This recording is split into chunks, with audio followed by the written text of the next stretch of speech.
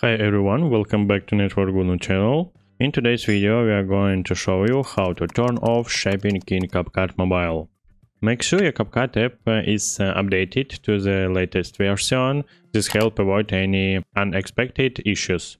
As of uh, now, CapCut Mobile doesn't have uh, a direct option to disable snapping, unlike the desktop version. But don't worry, I've got a simple workaround. Tap on overlay at the bottom, then choose a video or clip. Tap add overlay. Once added, you'll notice the overlay clip can be moved along the timeline without snapping, giving you more control over its uh, placement.